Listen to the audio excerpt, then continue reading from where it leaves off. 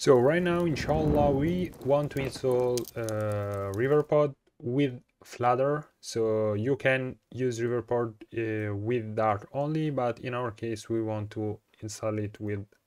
uh, Flutter. So to install it, it's really easy. We have to go into pub.dev.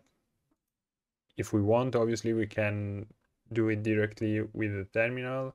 and yeah you have many ways to uh, install it. Uh, i'm going to use this most simple way uh, that is by uh, typing this in your shell in the folder of your shell. And uh, or you can do it by uh, adding this line to your pubspec.yaml so okay let's go into our code inshallah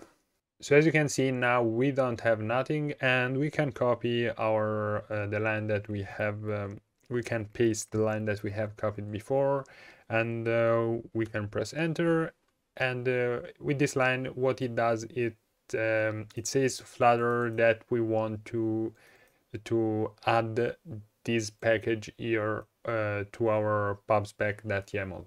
and as you can see right now we have added our package or as I said before you can add it manually uh, uh, just copying this line and pasting uh, it here and it should restart uh, after you save it should restart and um, get uh, your package